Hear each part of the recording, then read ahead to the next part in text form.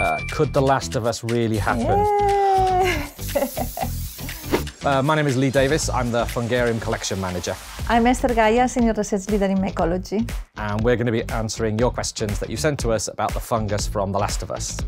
Oh, do I have to tie it? But we're not going to do the interview like this. No. No, please. Okay.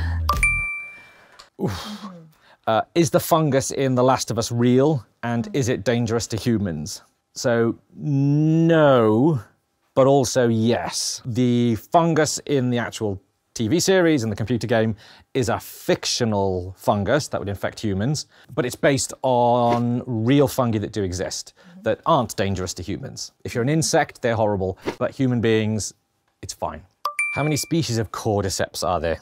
There's two cordyceps, if you like. There's the one which is the, I guess, the way that in this program and other things gets talked about these sorts of um, fungi that infect insects. It's like a broad general group. Of them, there are two families of fungi, the Cordycipitaceae and the Ophiocordycipitaceae. Uh, they're very closely related, and between the two, there's about 11, 1200 species that we know of at the moment. So there's probably thousands more still to find and describe. Cordyceps, in the very, if you like, the, the scientific sense, is a, is a genus called the Cordyceps, and there are About 600 but yeah, so 600 species in that. known. So yeah, so there's the scientific use of the word cordyceps, and then there's the vernacular sense of cordyceps. Do you have any cordyceps at Kew? We do. We have hundreds, if not a couple of thousand specimens of cordyceps from the UK and the rest of the world. Um, I've got one here. This is a, a species that's called Ophiocordyceps taylori, um, and it parasitizes uh, caterpillars. So that's the caterpillar. It's been infected, it had its insides eaten out, and then when the fungus is finished, it burst out of its face, and this is the fungal fruiting body, which sticks above ground and spreads spores to infect other caterpillars. Beautiful. Very beautiful. Uh, in The Last of Us, people are infected with cordyceps if Uh, they're yeah, the- bitten by an infected person, but how how do cordyceps spread in the real life? No, not through the mouth. No, that's not, no. Uh, Weird no. things coming out, yeah. no. That's a big uh, fictionalization. It's a lot simpler in that the once like the like with the caterpillar, that fruiting body that's coming out the top, it produces spores which drift on the wind and then potentially go on and infect another insect. It's kind of Yeah. airborne spores, or like seeds on a dandelion. And they drift on the wind and land and germinate and grow. I like the, the ones from the zombie ants. The zombie ants, uh, Oh, when they get infected and they make them walk over up to the branches of the trees, and they can hang in there for a while while the fungus is digesting them and eating them inside. And then when they are already, yeah, completely almost gone, they only have the outside. Then the fungus uh, produces their spores, and they they they uh, fall on on the ground where you may have other uh, uh, ant colonies, and then they spread all the spores again, and the cycle starts again. House flies, house flies, house flies get infected by another an, another type of um, mm, cordy. Well, it's the same family as these cordyceps. Dipterigena. Yes. Cordyceps dipterigena. Yes, there we go. um, They they get infected and they, they make them fly and then spread the wings and then shoop, all the spores go down. And the females, the females, they're very very sophisticated. They produce these pheromones that attract males, and then the males want to um, mate with those females infected. And uh, that, that, that's how the, the males get mm, yeah, infected as well. Is it true that with a temperature rise, it could affect people? Not these ones. These ones, uh, in particular, the ones that the people are mostly interested Yeah. because of the series, they don't like very high temperatures. And that's why they wouldn't survive in human bodies, but uh, many other fungi that thrive in higher temperatures. And that's why, because of climate change and raising temperatures uh, around the world, we may have other fungal threats. Not the cordyceps, not the ones from the series, but, but other, other species. Yeah, it's not just the temperature that's the issue. There's there's a couple of other things as well with these. Is that they've had tens of millions of years to evolve to Yeah. infect insects, and so everything about them is geared towards infecting insects. So we're kind of odd for, to them. So they're not really prepared to invade our bodies and infect us. And also, we have an immune system that's pretty sophisticated. So it's it's not just a temperature thing. We're slightly more complex than insects. Yes, we are. um, should fungi be pronounced fungi or fungi? or I fungi, fungi. or fungi. I say fungi, I say it's almost a matter of taste. I think they're all right. Uh, could The Last of Us really happen? Yeah.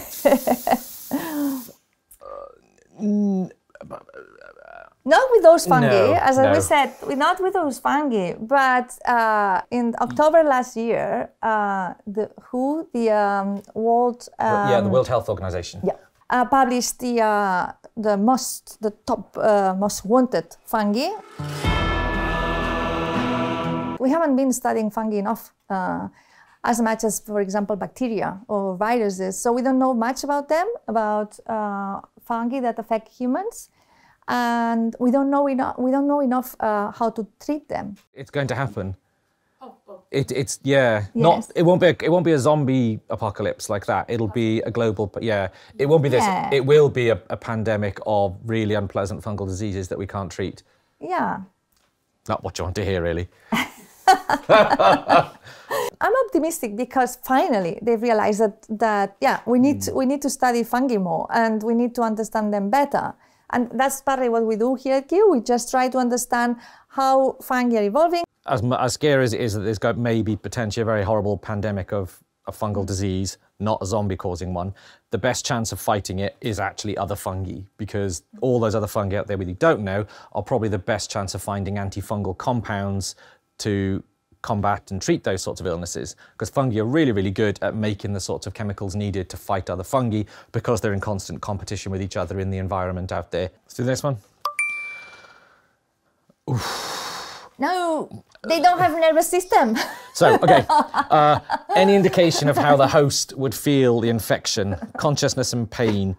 I, I don't think they feel that sort of pain. There is one, it's not one of these cordyceps type um, fungi that infects insects, a completely different type of fungus called Massospora that infects cicadas. It produces um, amphetamines and hallucinogens in the cicada. And it's thought that part of the reason to do that is that the cicada doesn't care that it's having its insides eaten out while it's still alive. We don't really know. Consciousness in other animals is, is a weird subject anyway. In Yeah. insects, very unlikely. They probably don't care. They're probably most yeah. insects are little automata, little biological robots, I guess. So an ant probably doesn't feel pain in the same way that a No. human would, for instance. No, we don't. Yeah, they don't have nervous system. I hope so anyway.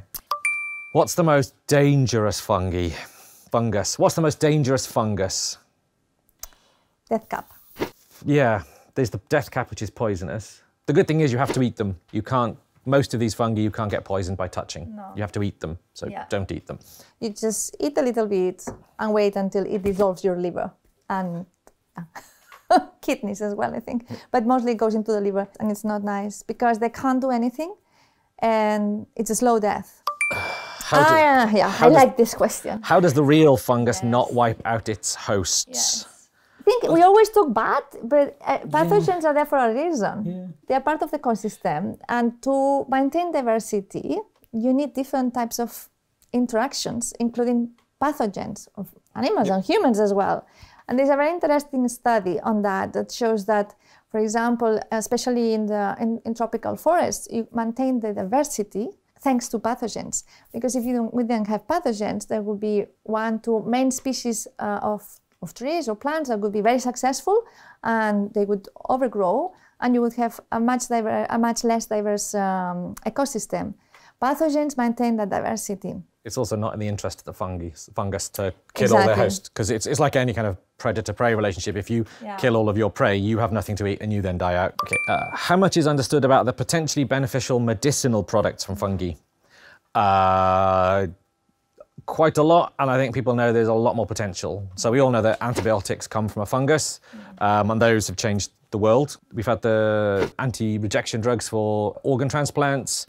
There's drugs for multiple sclerosis. Um, statins come from fungi. Because interestingly, we are not that um, far related from fungi, and their basic fundamental biochemistry is quite similar to humans. That's why we can use some of their the compounds and their um, metabolites. Recently, I've got many friends asking me if all that there's, there's this new fad um, of uh, fungi teas and lots of uh, yeah fungi products in internet. Many of the things that are being sold, I would say they they're not, they haven't been proven. So you may be spending a lot of your money on things that are kind of cool, but not very, not very uh, effective. There was one, some guy I saw on Instagram uh, saying that it can cure ADHD in children. Uh, Rubbish. Well, yeah, schizophrenia. That's proven. The, the, the derivatives of psilocybin uh, are being used, for example, with, with uh, effectively and yeah, successfully to treat uh, schizophrenia. For example, people, individuals with bipolar um, diseases as well, depression. Yeah, those ones are not in your tea. What's the most common fungus in the UK? The, there are several. I mean, the most common ones, yeah, I would say the oyster fungus, Yep. Chicken of the woods. Turkey tail. All the sorts of bracket fungi are probably easy to see because they form big brackets that last on the outside of a rotting tree or a, a tree stump, whereas a lot of the other fungi kind of appear for a few days and then disappear. So there are lots, lots of. Jelly ear fungus is another one. What's your favourite fungus? actually it's the lichen. It's a lichenized fungus. A fungus that establishes. say I know, you knew establishes symbiosis with algae, and because they it can go, it can grow anywhere in the world, and there's lots of species. Uh, but I like those ones that are orange. I like the cordyceps type fungi a lot. Um, I also like amanitas. They're very beautiful. So things like the death cap and the fly agaric. I really like those sorts of fungi. It depends Hey. on the day. I'll have different favourites. Hey, your favorite days. was the fly agaric. I remember that. Yeah, I think on that day, depending on what day it is. So, uh, if there was a Last of Us style apocalypse, what would you do? I have my zombie apocalypse plan all laid out. The two options one is I come to Kew Gardens because it's got a big wall all around it, it's got glass houses, water, and a gardening supply shop, so I could grow my own crops and live inside here quite comfortably. The fungarium is a concrete bunker underground, effectively, so I could even hide out in here. If I'm not near work, then my plan is to get to an island off the coast of Wales and set up a little farm and live off the coast of Wales. That's where I'm from, so I know I know the, all the Isle of Wight. There is another zombie apocalypse film where it does go on the wind called The Girl with All the Gifts, which is a very good film. Mm-hmm. Same cordyceps type stuff, but it does do spore based, yeah. and everyone gets killed. Yeah, there's no escape. You can't hide. Sorry. That's kind of note cool. Sorry. Isn't it? There we go. That's the last of the questions. Um, so hopefully that's answered them all for you, and you're not scared of a zombie apocalypse anymore, and a bit more hopeful about how fungi are amazing, and that there are lots of people out there studying them and trying to understand them, like we do here, and that they will answer all our problems. Thank you. Good night. Don't have nightmares. Here we go. That's what Crimewatch did, didn't they?